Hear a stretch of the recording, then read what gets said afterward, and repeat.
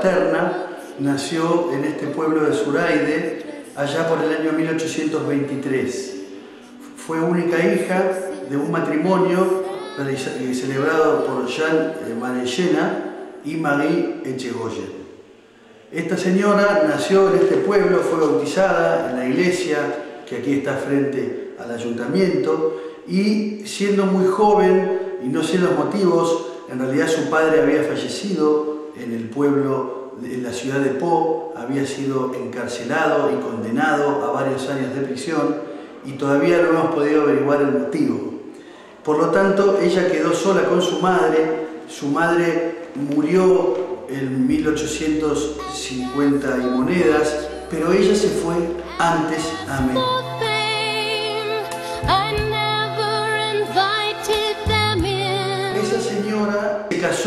en 1850 con otro señor del origen de esta tierra eh, que se llamó François Ward. Ella se casa y eh, viven en Buenos Aires alrededor de cinco años.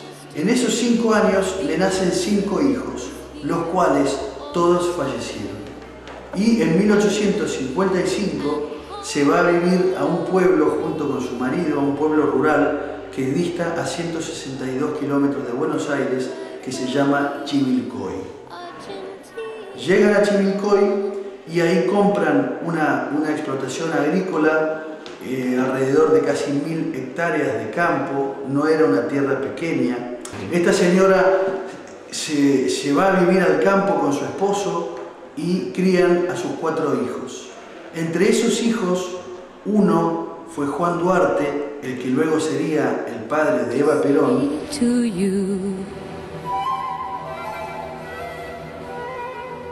María Manechena fue una mujer de un fortísimo carácter. Ella en viuda siendo muy joven, queda a cargo de sus hijos cuando todavía no habían superado la mayoría de edad y le correspondió tener que explotar y administrar el campo ella sola.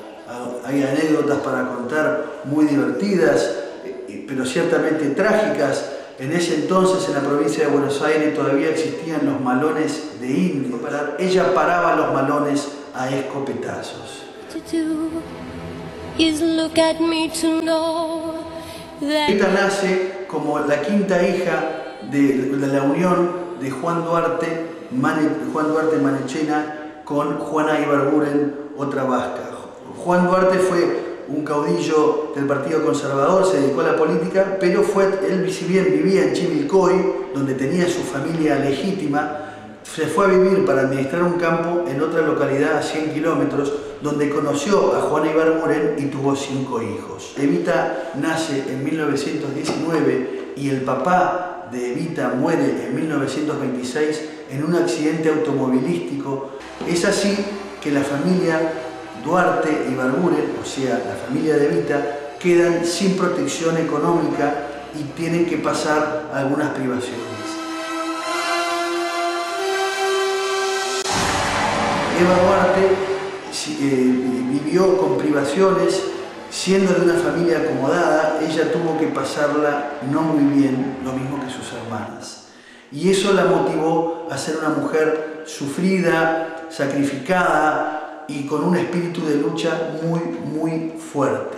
Espíritu de lucha que lo había heredado de su abuela paterna, María Manechera Chegoyen, nacida aquí en Suraide, que la había también eh, adoptado de su madre, Juana Ibarguren, y ella tuvo que hacerse sola, sola siendo muy pequeña, viajó a la ciudad de Buenos Aires para empezar una carrera artística en el ámbito del teatro y de la radio, de las telenovelas que se, se hablaban por radio porque la televisión no existía.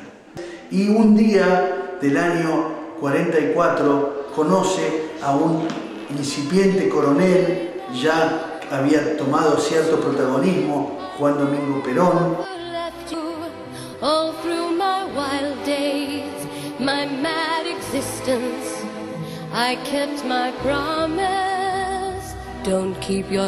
Evita durante su corta vida, no olvidemos que Evita muere a los 33 años de un cáncer. Evita fue una de las mujeres más brillantes que ha tenido la historia argentina, porque ella encarnó las necesidades que el pueblo tenía.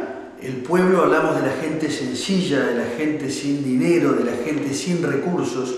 Ella le devolvió al pueblo lo que en derecho merecía, que era tener una vivienda digna, un acceso a la educación, tener acceso a los derechos sociales y médicos, los derechos de poder vacacionar. Bueno, todos esos derechos Eva Duarte los, se los devuelve al pueblo y es por eso que el pueblo hoy en día, después de tantos años que ella se ha despedido de su gente, sigue siendo una figura mítica, sigue siendo un modelo, un arquetipo, una mujer única para la Argentina.